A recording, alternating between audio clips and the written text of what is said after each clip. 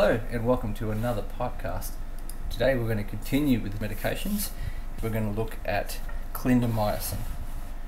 So, the uses of clindamycin, as you could possibly theorize, is, is many. It is a pretty useful um, antibiotic uh, that is mostly used in capsule form as an alternative to allergies towards beta lactams, in particular penicillins and doxycyclines.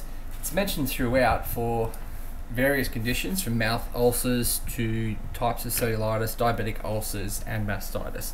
But its primary use as a means or as an alternative or as a assistant type antibiotic for acute wounds is its use in bacterial vaginosis as a cream. Now, bacterial vaginosis is it's a condition that's been argued back and forth whether or not it's a sexually transmitted infection. So, most of the jury is sitting on the fence that is not an STI. However, sexual activity is a good way to spread it. Okay, so the way bacterial vaginosis works is, as I'm sure you're all acutely aware, is the bacterial flora found within a vagina is present and it lives in a slightly acidic environment. Now, this is deliberate in order to protect the cervix and the womb from other infections. Okay, so the bacteria that lives in there it produces lactic acid as part of its gly- glycogen breakdown. Okay, and the main one found in females is your lactobacillus. Okay, so that is your normal bacterial flora. Now, if you want more information on female anatomy, physiology, reproductive system, then you can have a look at that episode. Now, the way bacterial vaginosis works is it's a mix up of this normal bacterial flora. So it moves from a acidic type environment of less than 4.5 to a more uh, weaker acidic to alkaline environment of greater than 4.5. Now, this environment encourages different types of bacteria to grow. Now, this bacteria isn't normal flora bacteria and it causes more destruction of the vaginal walls, and with, with that destruction, it causes inflammation. So, you get inflammation, discharge, and often quite a fishy, odorous smell. Now, bacterial vaginosis is caused by obviously this mixed match of bacteria. Now, things that have been hypothesized to make it more likely can just be genetic background.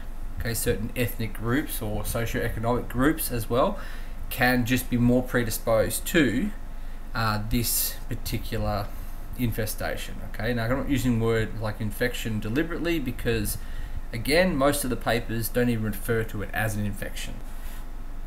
Other things that make it more likely is the presence of viral STIs like HIV or HSV, uh, and other bacterial STIs can make it more likely.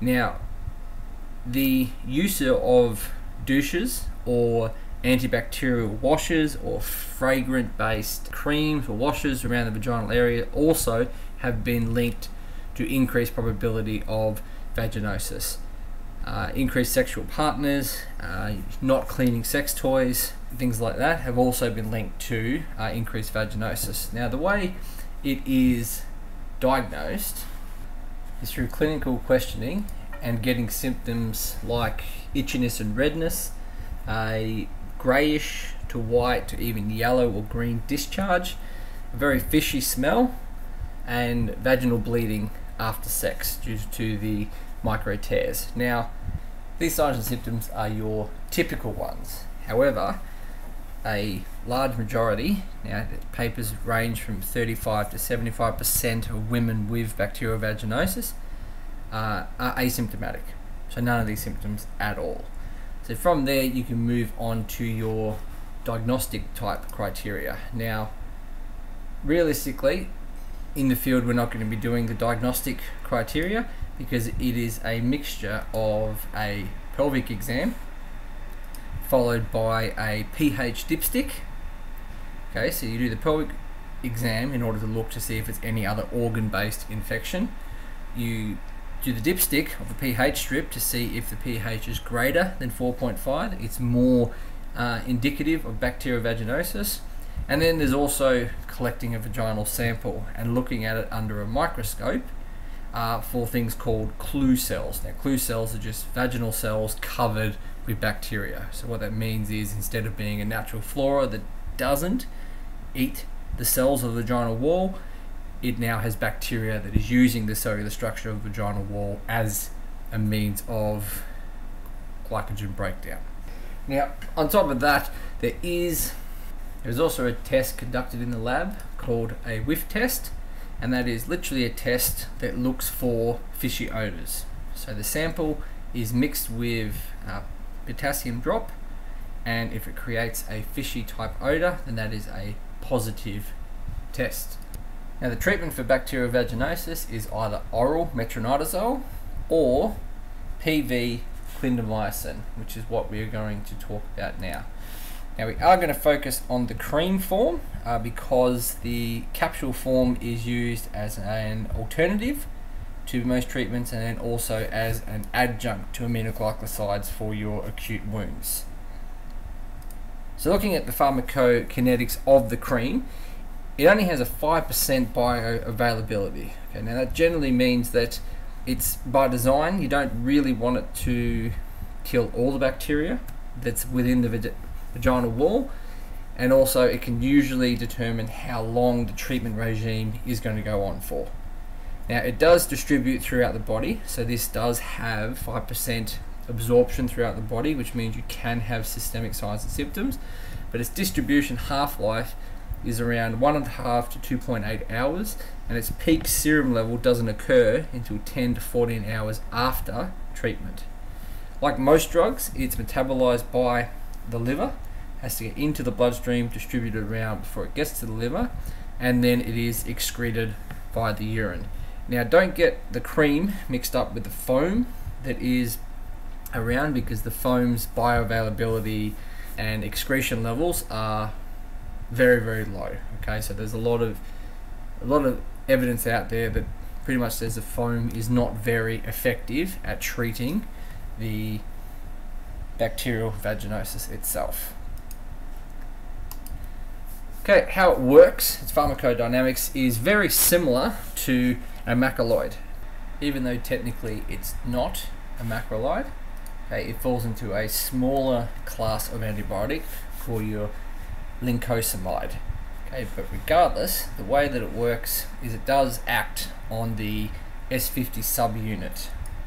If you're having trouble remembering the different main classes of antibiotics and how they interact, then click on the link above and it will take you back to pharmacology looking at all the different antibiotics. But looking at clindamycin itself, especially in cream form, so clindamycin, as mentioned, is an antibacterial agent. It now binds to the 50S ribosomal subunits of susceptible bacteria. Okay, now the tablet form is bactericidal or and bacteriostatic depending on the concentration. The cream one is mostly designed to prevent elongation of peptide chains. Okay, now it interferes with um, the peptidyl transferase and thereby suppresses protein synthesis of the bacteria. So it's mostly your bacterial static and allows your body to use its natural defenses in order to kill it. Now, if you want to have full understanding of what protein synthesis is, even though it's not focused on bacterial protein synthesis, the process is still the same. You can have a look at the episode on protein synthesis itself. Okay, moving on to the characteristics of the drug itself, we need to know what sort of things to look out for. So there's a few warning signs associated with clindamycin. The main one is obviously hypersensitivity to clindamycin or lincomycins themselves. Okay, and one that's pretty much been proven for all antibiotics and it's something that we need to always mention. So pseudomembranous colitis can occur with pretty much any bacterial agent that you use. So all antibiotics have this warning that if you give it to someone, they have the risk of getting really bad colitis type infections, C. diff, or your pseudomembranous colitis itself. So if the person gets significant diarrhea or abdominal cramps after the administration of any antibiotics, that antibiotic is to be stopped immediately.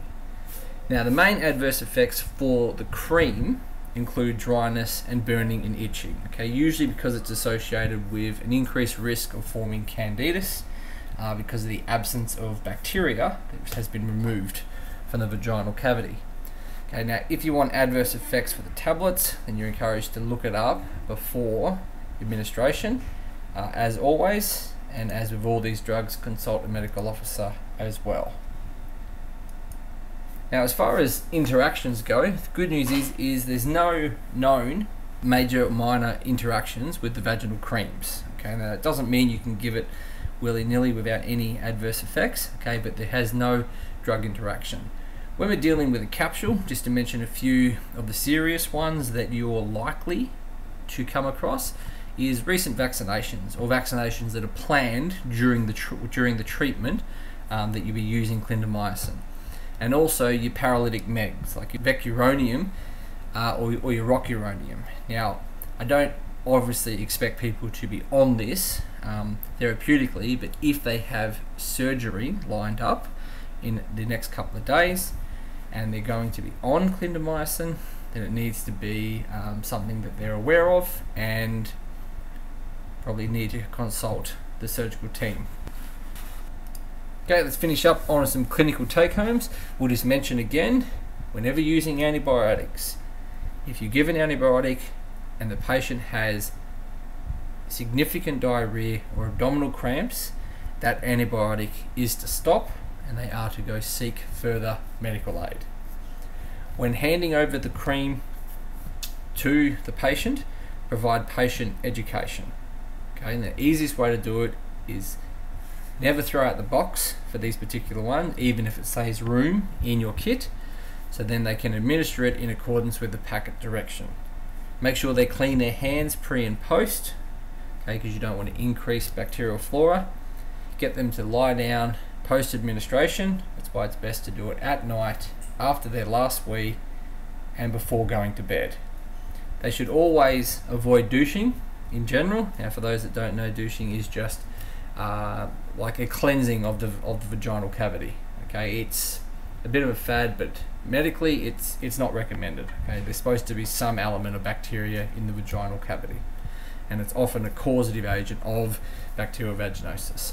But whilst they're undergoing the treatment, absolutely no douching, no use of tampons, and avoid intercourse and the use of toys during the treatment.